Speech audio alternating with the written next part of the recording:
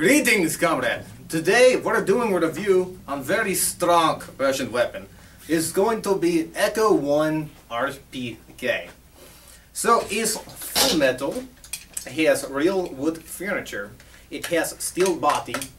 Um, good thing to note about weapon is that it has two-side rail mount. So if you're a weak capitalist and feel need to put red dots, ACOG scope, hybrid sights, and ignore beautiful, perfectly handcrafted adjustable rear and front sight, Stalin is looking out for you, my friends. So, we have here, it has 500 millimeter 6.06 barrel. This is effective high suppression DMR light machine gun. Now, it's not set up like conventional light machine guns. This comes with two 800 round AK high capacity magazines. It's good for suppressive fire, but it's good for suppressive fire at long range. It weighs in at 9.5 pounds or 4.3 kilograms. So as far as light machine gun goes, it's actually pretty light. It's good for long engagements um, for a longer time. Is wired to rear. You need special Phillips head screwdriver to get butt plate off. And it has large type battery connector. Now, like most Red Star AKs, it does have LiPo ready potential. Now, just because you can use high-powered LiPo doesn't necessarily mean you should. But I'll talk more about that when we're looking at Zacknikov personal weapon. It has a 7mm steel bearing. So you can find all information about Echo 1 guns on website. It was uh, declassified many times ago. It has a 3 steel torque system and gearbox. And it has a factory M120 spring. So there's no reason you can't reach out and touch Uncle Sam when he's hiding behind bunker, like a coward he is. It has adjustable front sight and adjustable rear sight. Now, is airsoft, is not real life. You're not going to need to hit Joe from three miles away. With 500 millimeter barrel and 420 FPS with .2s, eh, it shouldn't be a problem. Now, we're looking at the difference between the RPK and the RPK 74. Now, this, no, I, I move, you keep camera still. This is my personal OMG, is Echo 1 OMG, or as like, or translated in Russian is Oh my goulash. So, the uh, primary difference between this and RPK 47 is this shoots little less hot, shoots about 400 feet per second, as advertised on the website. Now, I have chronoed at 415 with .2s.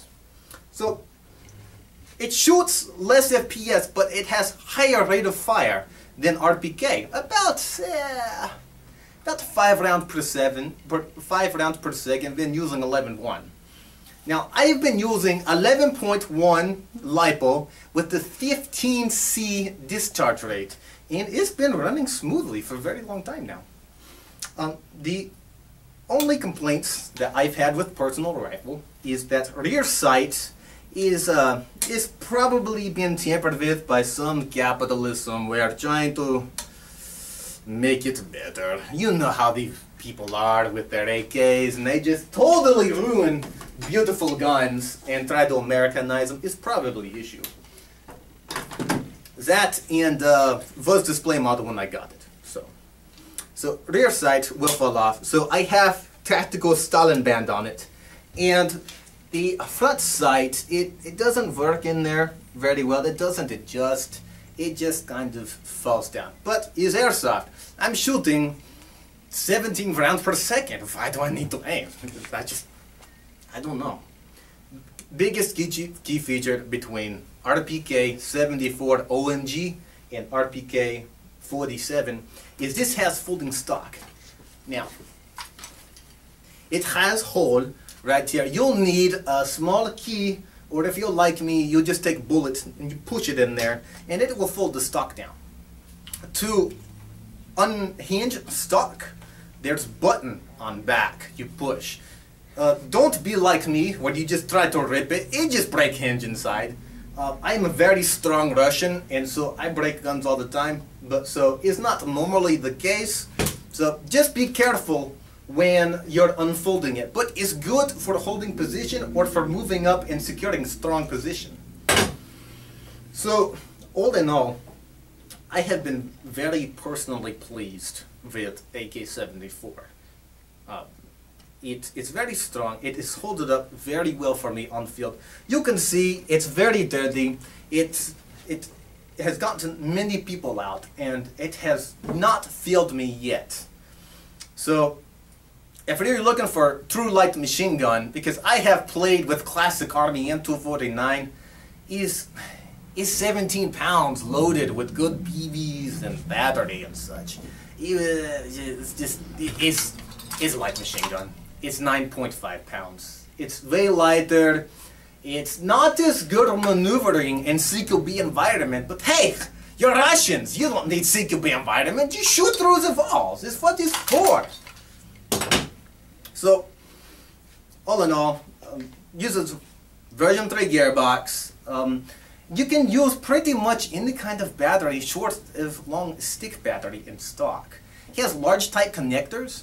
I'll be uh, changing mine to DINs, but you can just use adapter that comes with most smart chargers and use regular 9.6 volt battery. Is happiest in gun. Remember, uh, it has a 30-day manufacturer's warranty to the Echo One, or you get the gun from us, you get 90-day warranty. Not that you'll need it, for I've had this since May, and it's been holding up very strong. So, we'll move on now to the FPS test. I had brain fart, comrade. It's been a long day. Hey guys, this is Aiden with Airsoft R Us Tech. We're going to be doing a chrono test with the Echo 1 Red Star RPK 47. Alright, let's go. This is using 0.2 gram BBs.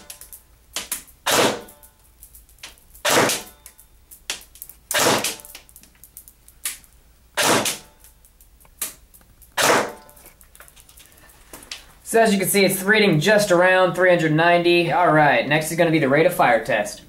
All right, now here's the rate of fire test using an 11-1 LiPo battery. Also, Zacknikov, the filthy communist, got it wrong. It's actually a small type Tamiya connector. All right, here we go. Hearing that? Yeah. Greetings, comrade. Just remember, when you're fighting for the motherland. Make sure they're using full ICL protection. And you're carrying strong Russian gun in gun bag so you don't get shot by real guns. They don't heal as easy. Be safe. Have fun. Or else.